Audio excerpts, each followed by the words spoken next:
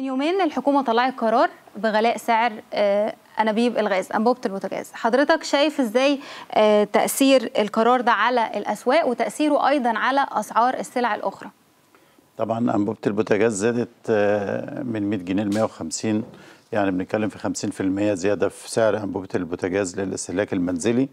وزادت الأنبوبة التجارية وده الأهم في ما يتعلق بارتفاع أسعار السلع. من 150 ل 200 جنيه. الأنبوبة التجارية ديت اللي هي المستخدمة في المطاعم المستخدمة في الأفران آه، المستخدمة لدى الكثير من ال- الأماكن اللي بتستخدم الوقود تجارية بشكل يعني عام المحلات مخ- والمطاعم آه. سندوتشات الفول والطعمية مثلا. بالظبط بالظبط. كل ديت بتستخدم الانبوبات التجارية. طبعا في الكثير من المخابز ب- بيوصل لها غاز طبيعي.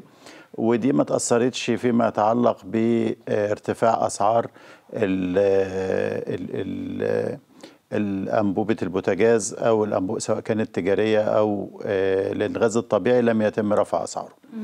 آه، اللي اترفعت أسعاره هي الأنبوبة المنزلية والأنبوبة التجارية. آه، سواء كانت أنبوبة آه، 25 كيلو أو الأنبوبة الطويلة اللي بتستخدم في المحلات. المحلات. طبيعي إن ده أدى إلى.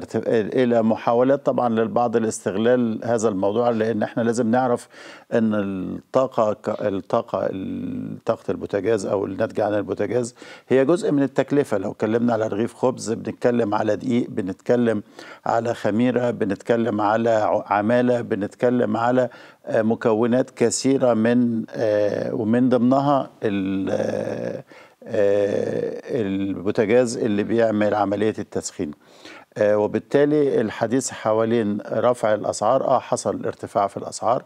في المطاعم حصل ارتفاع في الأسعار عند الباعة الجائلين آه، الباعة اللي موجودين في الأماكن اللي عامل شادر اللي عامل آه، بنسميها نصبة فول وطعمية بالذات بيستخدم أنبوبة بوتاجاز تجارية اللي هي العالية واحيانا بيستخدم كمان الصغيرة لو ما لقاش الكبيره فكل ده أدى إلى آه، حدوث نوع من أنواع الضغط. باقي السلع الحقيقة هي جت في توقيت يعني صعب شوية.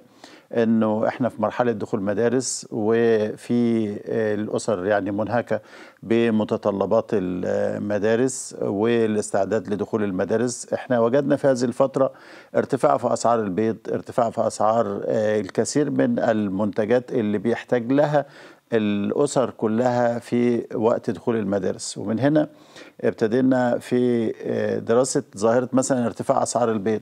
ارتفاع أسعار البيض إحنا عندنا 100% اكتفاء ذاتي. وعندنا آه، على سبيل المثال يعني لو خدناه كمثال أو كنموذج للمشاهدين لمعرفة إن- المشاكل اللي موجودة في السوق. عندنا 100% بننتج حوالي 14 آه، مليار بيضة. عندنا استثمارات في هذا القطاع آه، منذ سنوات طويلة تصل إلى آه، 100 مليار جنيه. عندنا قوة عاملة في هذا القطاع حوالي 3 مليون عامل. يعني بنتكلم على حجم صناعة حقيقية موجود وهذه الصناعة محلية. للبيض. إحنا البيض. عندنا اكتفاء ذاتي. بقى عندنا اكتفاء ذاتي و100% ورغم هذا ارتفعت اسعاره البيضة دلوقتي سعرها وصل ل شوفي 7 بقى جنيه ما أنا لسه ل 190 أو 200 لا جنيه ده, كمان. ده وصلت من 200 جنيه. 175 جنيه في بعض ال ال ال الأماكن لحد 200 و210 كمان. فارتفاع غير مبرر وغير طبيعي. لما جينا عملنا حمل في مواطنون ضد الغلاء عملنا حملة مقاطعة خليها تمشش أو خليها من يوم الجمعة اللي فاتت للجمعة الجاية. يعني. دعينا الناس للبيض ده لسه آه. هاجي لحضرتك بس في الجزء ده. فجئنا جهاز وطبعا كان جهاز منع المنافسة الاحتكارية. أحال 21 من منتجي البيض منتجي الدواجن.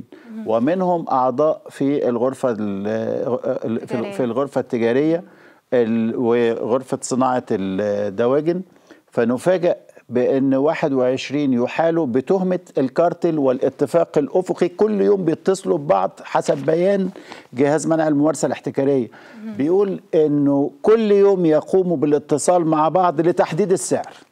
يبقى إحنا عندنا سوق مشوه سوق غير منظم سوق مفهوش شفافية. سوق المنتجين فيه بيتفقوا مع بعض على تحديد الأسعار كيفما كيفما يشاءوا. في حين إن السعر العادل بعد لما اجتمعت وزارة الزراعة مع وزارة التموين مع المنتجين وبدأت تحاول إنها توصل معاهم إلى سعر مقبول ليطرحوا في المجمعات الاستهلاكية. يطرح ب 150 جنيه. بص الفرق بين ال 150 وال 200 يعني عشان نعرف بس حجم الفرق في اللي أنا بسميه الاستغلال. استغلال يعني التجار. هذا استغلال من منتجين ومن تجار وموزعين. يعني إحنا إحنا في إحنا في حالة هي حالة حالة دراسة حالة. فدراسة الحالة بتوضح. أدي منتجين بيتفقوا مع بعض على السعر وبيحددوه وحيلوا للنيابة العامة.